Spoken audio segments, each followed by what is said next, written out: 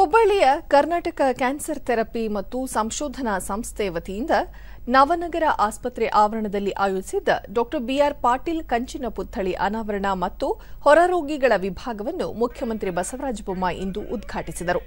ಶಾಸಕರಾದ ಅರವಿಂದ್ ಬೆಲ್ಲದ್, ಪ್ರಸಾದ್ ಅಬ್ಬಯ್ಯ ಮತ್ತಿತರರು ಉಪಸ್ಥಿತರಿದ್ದರು.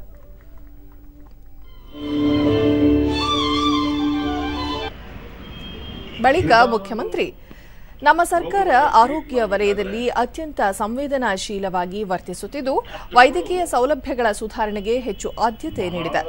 ಅರವತ್ತು ವರ್ಷ ಮೇಲ್ಪಟ್ಟ ಮತ್ತು ಶಾಲಾ ಮಕ್ಕಳಿಗೆ ಉಚಿತ ಆರೋಗ್ಯ ತಪಾಸಣೆ ಹಾಗೂ ಚಿಕಿತ್ಸೆ, ಹಿರಿಯರ ಕಣ್ಣಿನ ಚಿಕಿತ್ಸೆ, ಕಿವಿ ಕೇಳದವರಿಗೆ ಕಾಕ್ಲಿಯರ್ ಇಂಪ್ಲಾಂಟ್ ಅಳವಡಿಕೆ, ಮಾನಸಿಕ ಚೇತನ ಮಕ್ಕಳಿಗೆ ಟೆಲಿಮೆಡಿಸಿನ್ ಮೂಲಕ ಚಿಕಿತ್ಸೆ ಸೇರಿದಂತೆ ಹಲವು ಚಿಕಿತ್ಸೆಗಳನ್ನು ನೀಡುತ್ತಿದ್ದು, ಈಗಾಗಲೇ ನೂರ ಹದಿನಾಲ್ಕು ನಮ್ಮ ಕ್ಲಿನಿಕ್ಗಳನ್ನು ಆರಂಭಿಸಿದ್ದು, ಮುಂದಿನ ವಾರದೊಳಗಾಗಿ ಇನ್ನೂ ನೂರು ಕ್ಲಿನಿಕ್ಗಳು ಪ್ರಾರಂಭವಾಗಲಿವೆ.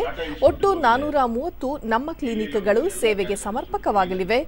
ನೂರಕ್ಕೂ ಹೆಚ್ಚು ಪ್ರಾಥಮಿಕ ಆರೋಗ್ಯ ಕೇಂದ್ರಗಳನ್ನು ಸಮುದಾಯ ಆರೋಗ್ಯ ಕೇಂದ್ರಗಳನ್ನಾಗಿ ಮೇಲ್ದರ್ಜೆಗೇರಿಸಲಾಗಿದೆ ಎಂದರು. ಮೆಡಿಕಲ್ ಕಾಲೇಜುಗಳಲ್ಲಿ ಹನ್ನೆರಡು ಕೀಮೋಥೆರಪಿ ಕೇಂದ್ರಗಳನ್ನು ಪ್ರಾರಂಭಿಸಲಾಗಿದ್ದು, ಡಯಾಲಿಸಿಸ್ ಚಿಕಿತ್ಸೆ ಪ್ರಮಾಣವನ್ನು ಹೆಚ್ಚಿಸಲಾಗಿದೆ. ಆಯುಷ್ಮಾನ್ ಭಾರತ್ ಯೋಜನೆಯಡಿ ಒಂದು ಕೋಟಿಗೂ ಹೆಚ್ಚು ಕಾರ್ಡ್ಗಳನ್ನು ವಿತರಿಸಲಾಗಿದೆ. ಮೊಬೈಲ್ ಕ್ಲಿನಿಕ್ಗಳನ್ನು ಆರಂಭಿಸಲಾಗಿದೆ ಎಂದು ತಿಳಿಸಿದರು. ತಮ್ಮ ಹುಟ್ಟೂರು ಹುಬ್ಬಳ್ಳಿಯ ಜನ ಒಳ್ಳೆಯ ಕೆಲಸ ಮಾಡಿದಾಗ ಬೆನ್ನು ತಟ್ಟಬೇಕು.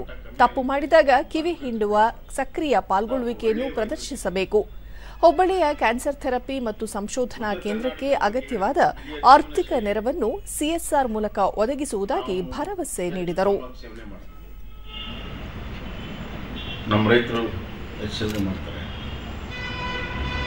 ಮತ್ತು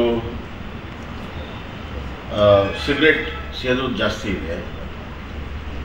ಮತ್ತು ನಮ್ಮ ಆಹಾರ ಪದ್ಧತಿ, ಒಟ್ಟಾರೆ ಜೀವನ ಶೈಲಿಯಿಂದ ನಮಗೆ ಅತಿ ಹೆಚ್ಚು ಓರಲ್ ಕ್ಯಾನ್ಸರ್ ಬರುವಂಥದ್ದು ಜಾಸ್ತಿ ಆ ಜೀವನ ಶೈಲಿ ಬೇರೆ ಇರೋದ್ರಿಂದ ಬೇರೆ ದೇಶದ ಓರಲ್ ಕ್ಯಾನ್ಸರು ಇಲ್ಲಿ ಕ್ಯಾನ್ಸರ್ ಬಹಳ ವ್ಯತ್ಯಾಸ ಸಂಶೋಧನಾ ಕೇಂದ್ರ ಆಗಿ ಪರಿವರ್ತನೆ ಆಗ್ತದೆ ಪೂರ್ಣ ಪ್ರಮಾಣದ ಸಂಶೋಧನಾ ಕೇಂದ್ರ ಆಗಿ ಪರಿವರ್ತನೆ ಆಗ್ತದೆ ಇದಕ್ಕೆ ಸರ್ಕಾರನೂ ಬೆಂಬಲ ಕೊಟ್ಟಿದೆ ಕೊಡ್ತದೆ ಸಮಾಜವೂ ಕೂಡ ಬೆಂಬಲವನ್ನು ಕೊಡಬೇಕಾಗುತ್ತೆ.